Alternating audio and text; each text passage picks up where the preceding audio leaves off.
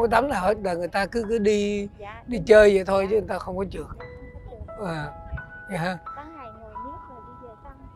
Mà cái này là mình mỗi ngày như vậy là mình cầu mong đừng có mưa đúng không? Dạ đúng mưa là coi như là là là kh- không người ta không đi người ta không đi là không ai trượt hết.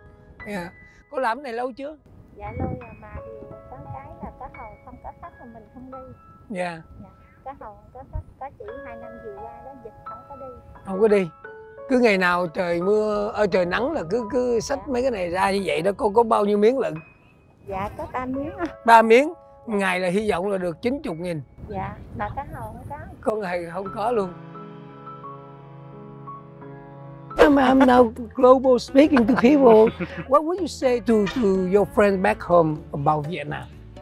you should visit it. It's interesting. You make new experience Uh-huh. and yeah, travel there.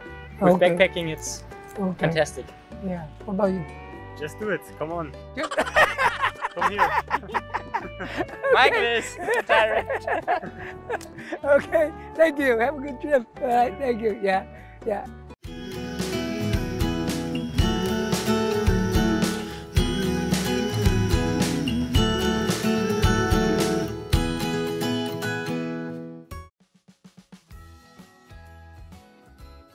Cái chương trình phục vụ cho những ờ, người khách muốn trượt cát ờ, trên cái đồi này đó mỗi một ừ, miếng về mình cho thuê là khoảng bao nhiêu tiền cô?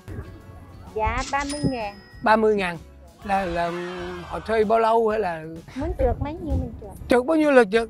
Mới là mệt thôi hả? Dạ một người là một Chứ thuê thuê mà chỉ nấu bên thôi à. Một, một người là một tát lên cái là mệt rồi thôi. Dạ. Mà cứ một lần vậy là 30 nghìn giờ một ngày thì bao nhiêu lượt mà cho thuê như vậy? Dạ có hầu không có đồng nào. Có hồi không có đồng nào sao vậy? Đây có khách nè dạ có khách ta không muốn à. Không muốn đó như chiều giờ không có không tắm nào hết là người ta cứ cứ đi dạ đi chơi vậy thôi chứ người ta không có trượt. À, vậy ha có ngày ngồi nước rồi đi về sân mà cái này là mình mỗi ngày như vậy là mình cầu mong đừng có mưa đúng không? Dạ đúng mưa là coi như là là là kh- không người ta không đi người ta không đi là không ai trượt hết. Yeah. Có làm cái này lâu chưa? Dạ lôi à mà điều có cái là có hầu không có khách mà mình không đi. Dạ. Có hầu không có khách có chỉ hai năm vừa qua đó dịch không có đi. Không có đi. Cứ ngày nào trời mưa ở trời nắng là cứ cứ xách mấy cái này ra như vậy đó có có bao nhiêu miếng lận? Dạ có ba miếng ba miếng? Ngày là hy vọng là được 90 nghìn. Dạ mà có hầu không có. Có ngày không có luôn dạ cái ngày nào không có thì sao? Dạ ngày không có thì mình chấp nhận thôi. Dạ ở nhà cô có bao nhiêu người? Dạ có hai mẹ con. Ờ, con con cô làm gì? Dạ không có con không có chồng. Không có con không có chồng. Ủa cô mới nói là hai mẹ con. Dạ hai mẹ con mà mẹ tám rồi Ô mẹ của cô. Ô ô người mẹ của cô Cô nuôi mẹ cô là tám mấy tuổi đó. À, Rồi suốt ngày là cô ra đây thì ở nhà ai chăm sóc bà? Dạ bà Bà ở nhà mình vậy đó. Bà còn đi tới đi lui được. Còn đi tới đi lui được. Thì bà cũng tặng bà à, à. Cô là người gốc ở, ở Phan Thiết luôn hả?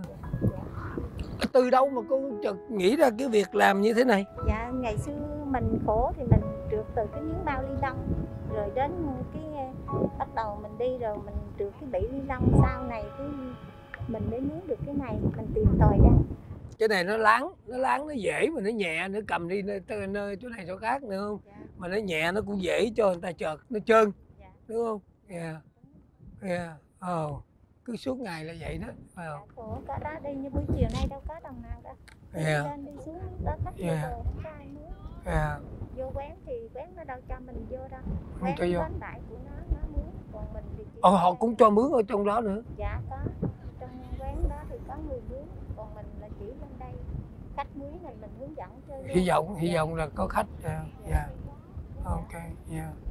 Cảm ơn cô nhiều nha Chúc cho cô may mắn Trời nè vẫn còn bây giờ đến chiều vẫn còn còn chút đỉnh nha dạ Dạ chúc cho bác thuận lợi bình an Dạ dạ Cảm ơn cô.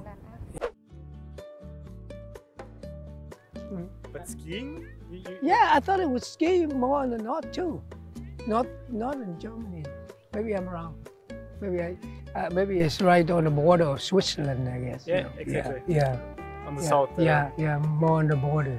Well, thank you, Michael, you guys so much. And, Thank you, Michael. yeah. Yeah, thank you, Michael. hope, hope you have Nice a, uh, a good uh, trip, a good journey. You know, you can share this clip. You know, this is uh, global uh, on YouTube and on TikTok. Nice. Uh, I give you a card so you can, you Yeah. know, later can say, hey, you know, in Vietnam, I'm now global speaking to people. what would you say to, to your friends back home about Vietnam? you should visit it. It's interesting. You make new experience uh-huh. and yeah, travel there. With Okay. backpacking, it's Okay. fantastic. Yeah. What about you? Just do it. Come on. Come here.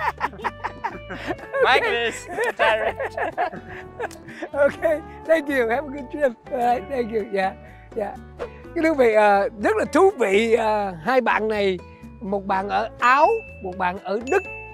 Nhưng mà cái bạn Michael ở Áo á, xin lỗi ở Đức á, thì qua bên à, Áo là thành phố Vienna đó ở rồi gặp nhau rủ nhau đi đi qua bên này đi từ Hà Nội đi vô cái kiểu giống như là backpack vậy đó nhưng mà họ rất là vui họ chia sẻ những cái ừ, thú vị những cái mong mỏi của họ là đi để mà biết được những cái gì về phong tục tập quán khác nhau.